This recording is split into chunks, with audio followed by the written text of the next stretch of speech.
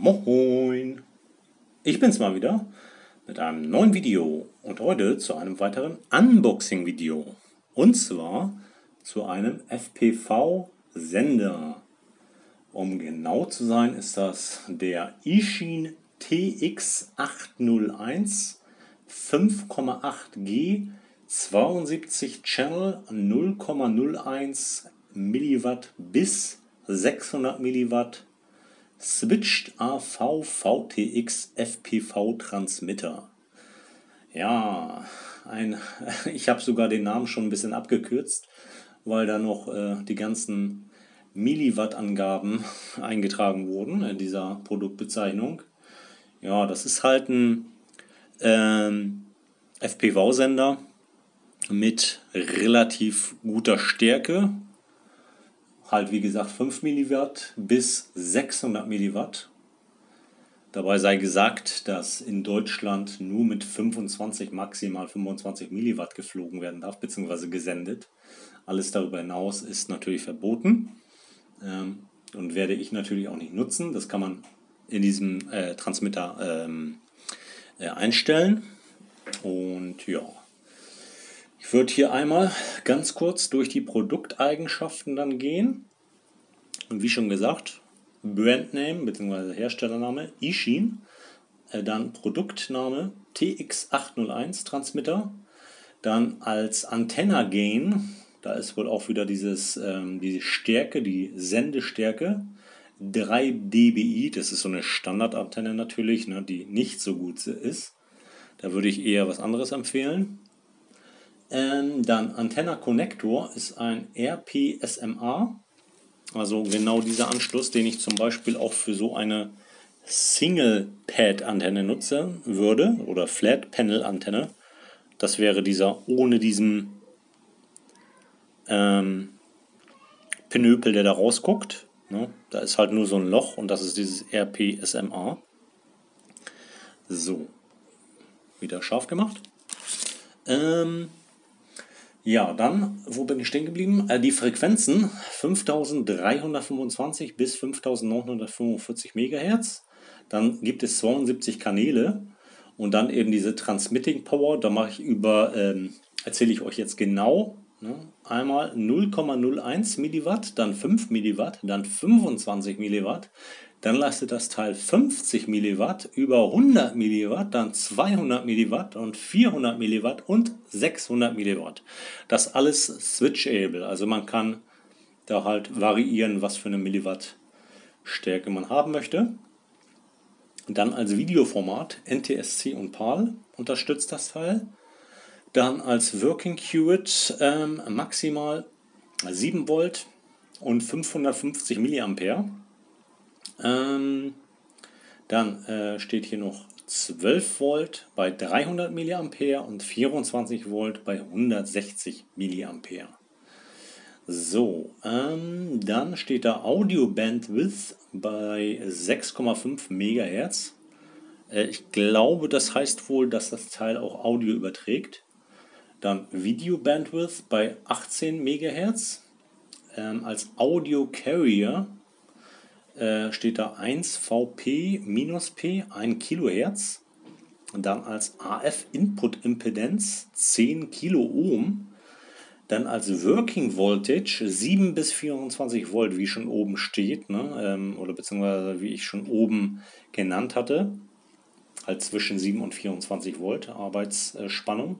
Dann Output Voltage ist 5 Volt. Dabei sei angemerkt, dass Ishin, das hatte ich sogar selber auch schon festgestellt, bei einem anderen Ishin-Sender. Äh, die 5 Volt, die kommen nicht unbedingt sauber zum Beispiel an einer FPV-Kamera an und die wird dann halt mit zu wenig Spannung versorgt und funktioniert dann nicht. Also da muss man mal überprüfen, ob da tatsächlich 5 Volt rauskommt. Ne?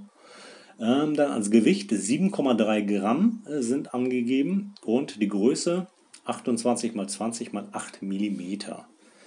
Ähm, ja, soweit von dem Teil. Ich würde das jetzt einmal aufmachen, aber zuvor gehe ich natürlich einmal durch die Verpackung.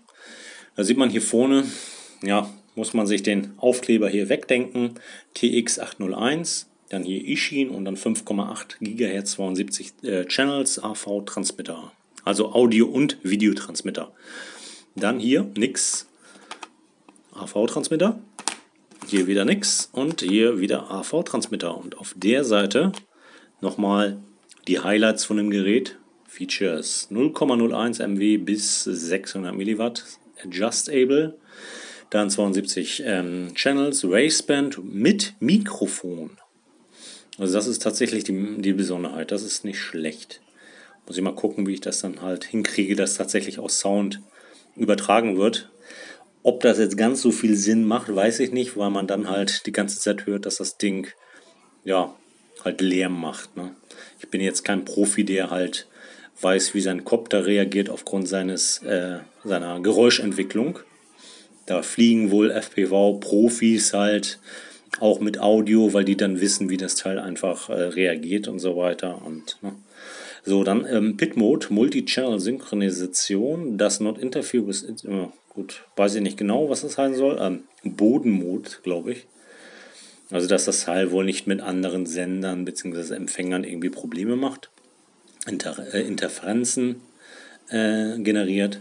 Dann Button Control for Easy Operation und dann Run Screen Display und High Stability. Also mal gucken, ob das tatsächlich dann sehr, sehr stabil ist. So, und ich mache das Teil mal auf. So. Äh, nebenbei, bei Banggood habe ich für das Teil knappe 11 Euro bezahlt. Und da hat man einmal eine farbige Anleitung, das ist schon mal schön. Und dann halt diese ganzen, äh, die Arbeitsspannung, dann ähm, hier die ganzen Kanäle und Bänder und so weiter. Das ist ganz gut. Und dann hier noch ein Packungsinhalt und eben diese ganzen Anschlüsse. Und natürlich, wie man das Teil dann eben benutzt. Oh, nebenbei. Ich habe es natürlich schon mal aufgemacht, um zu gucken, ob da jetzt tatsächlich das Teil drin ist. Ob da nichts fehlt. Und da habe ich hier noch so ein Adapter, so, so ein Eck- oder Winkeladapter reingesteckt. Habe ich separat nochmal dazu bestellt. Für die Antenne natürlich dann am Kopter. So, dann haben wir hier einmal ein Kabel, welches dann natürlich an diesen Sender angeschlossen wird.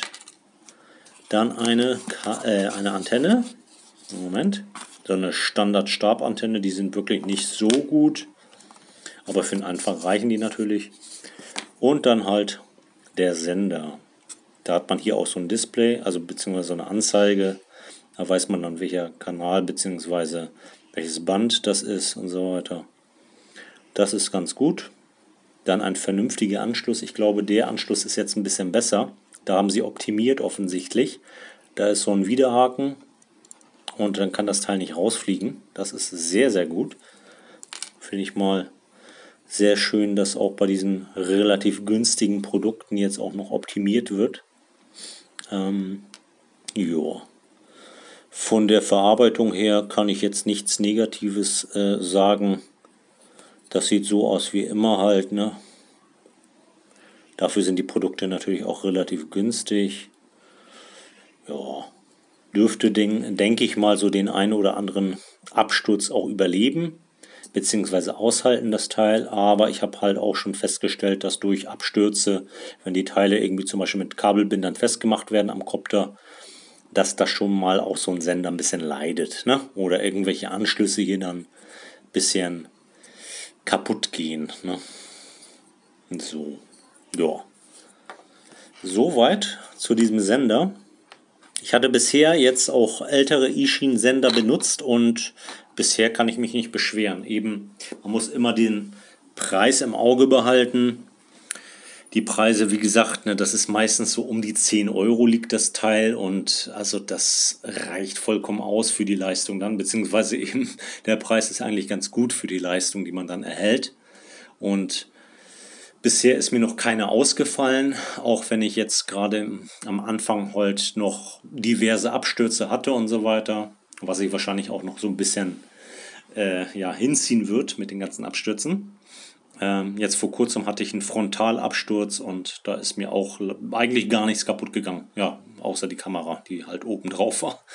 Die ist leider kaputt gegangen. Naja, Pech gehabt. Ähm, ansonsten wäre es das erstmal zu diesem Sender.